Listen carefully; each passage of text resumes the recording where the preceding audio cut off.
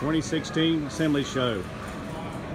Design tool with Taylor Hines. Why should a company buy a screw feeder? Well, there's a lot of reasons. First of all, we'll start with the 5000. This is going to automatically feed and drive your screws. It's going to take it out of the operator's hands completely. You're going to be looking at feeding and driving a screw in a second or less. As soon as you begin driving that first screw, the next screw is being fed to the end of the driver while you're driving that screw. This is a great way to increase your productivity anywhere from 50 to 60% conservatively. It can be more. Um, Why should I use a screw presenter?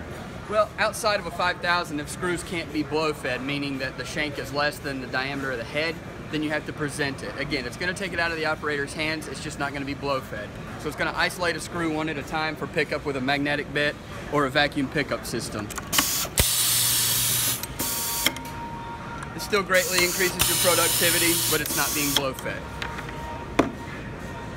Why should I use a screw dispenser or a bolt dispenser? Well, this is very big in the automotive industry. This is um, going to give the operator accountability for however many screws they need. So this machine right here is going to give me four screws each and every time so I can account for how many I put into my part. If there's one missing, I know that I need to find it and stop the line before I move on. Okay. What if I want to be a buy a turnkey system with just components from you? What can you offer me? We do that as well. We can feed and drive, you know, really as many screws as you would like to. We, we what we would do is have your bowl feeder. It's going to feed to uh, mounted screwdrivers onto a platen system that can be mounted onto a robot or linear actuators.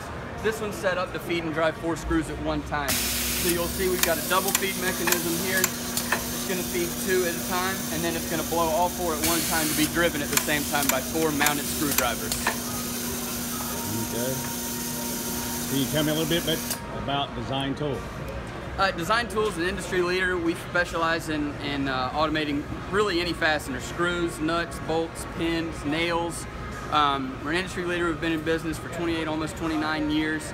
Um, we feel that we make the best machine and uh, there's a lot of customers out there that would agree completely.